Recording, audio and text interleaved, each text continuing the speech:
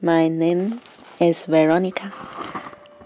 I was born in 1982. I changed three living places in different districts. Before I was 15 years old, I was living in an old house, how two story, which was built by my grandparents. The old house with a big, beautiful garden.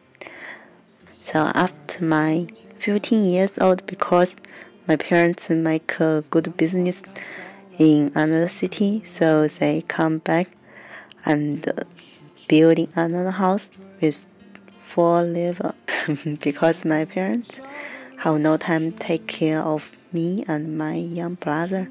So my father building another um, second floor open garden for me.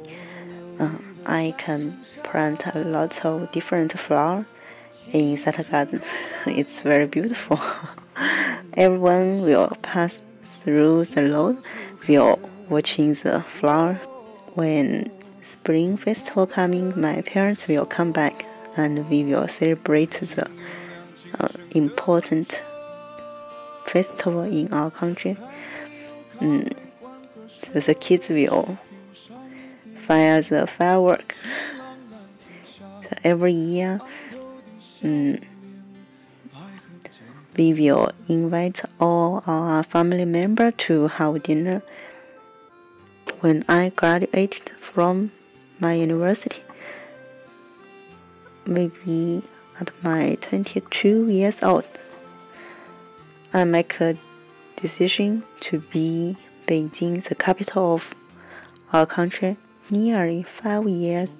It's really an interesting time because I make a lot of friends when I living with different roommate and housemate. We all have different dreams, but we fighting for our dreams in that big city.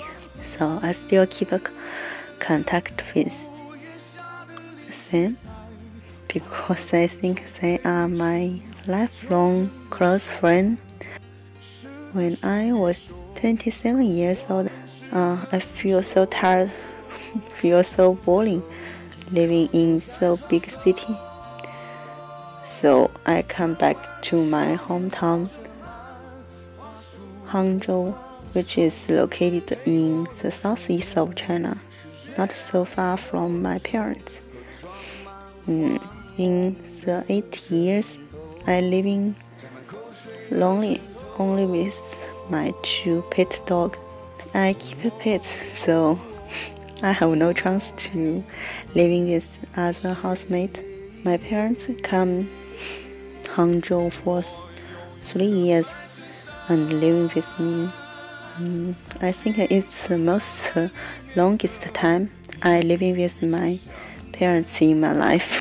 After 13 years hard working, I quit my job and uh, decided to go abroad as an overseas student to do my master degree. I come to Australia, living in Melbourne.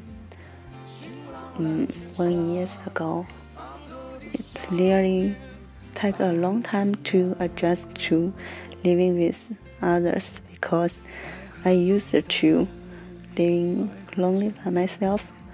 So need to very careful to respect others' habits and culture, different food, different country, different background. So I think I'm lucky when I live in first two house with different housemates. Recently, I met a single lady as my landlord.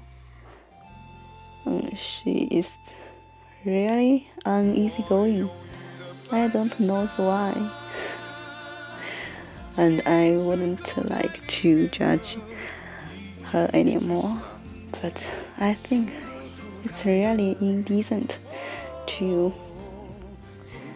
quarrel with each other, by small tribal stuff such as chopstick and something else, so I run away.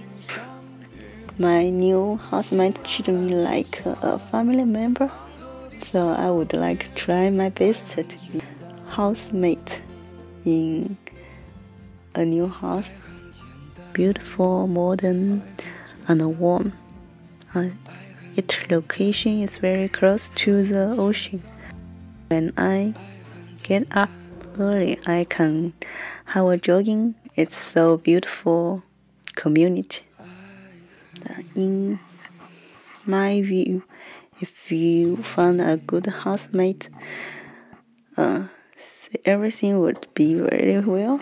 I think house is refers to the feeling of security, warm. Mm.